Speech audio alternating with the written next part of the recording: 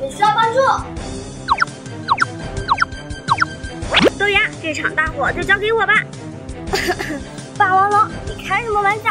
你只会喷火，有什么用啊？哼，你怎么就知道我没用？霸王龙，你先别着急，我已经拨打幺幺九火警电话了，他们马上就到。可是来不及了呀！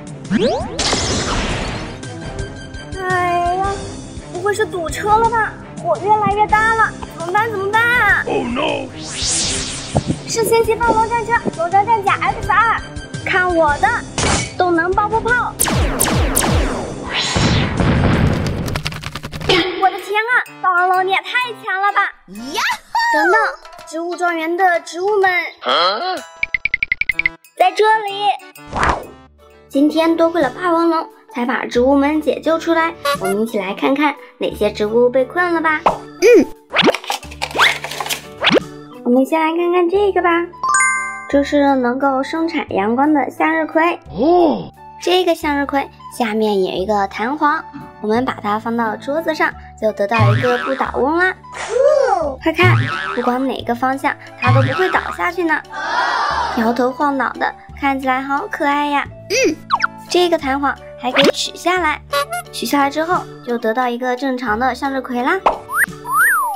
而且底部放一点水的话，还可以粘在我们的桌子上呢。哦，哎，怎么回事？霸王龙不是去解救植物了吗？怎么冒出来一个臭僵尸呀？啊，我知道了，他一定是去偷植物了，结果被大火困住。